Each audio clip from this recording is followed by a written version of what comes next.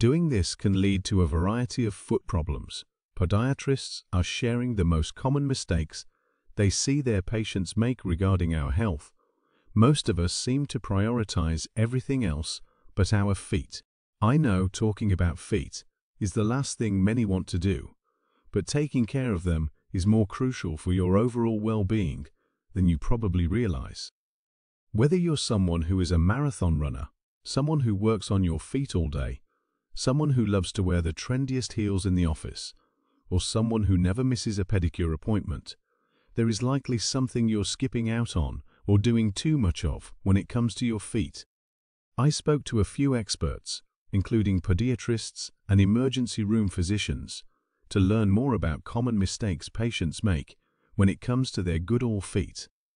Here's what they had to say. One specific piece of advice I always give is the importance of regularly replacing gym or running sneakers.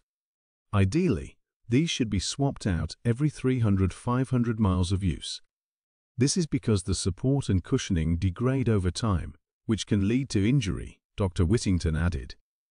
Regular stretching of the Achilles tendon and the plantar fascia, as well as strengthening exercises for the small muscles in the feet, can significantly improve foot health and prevent injuries, Dr. Whittington added. Here are some examples of helpful foot stretches and exercises. Dr. Daughtry agrees by adding, most shoes do not have enough arch support for the average person, so additional arch support or cushioning may be needed if standing or walking long hours or distances.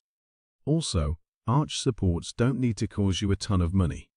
Typically, over-the-counter inserts should only cost about $50-$70. Dr. Daughtry continued. She also said you don't need to waste money on buying orthotics from stores and instead visit a trained professional if you want a true custom molded orthotic, where a mold of the feet is captured without gravity or body weight involved, no standing in a box or on a plate to capture the image of your feet, and the inserts are then made in a lab to be specific for the individual's feet. However, Dr.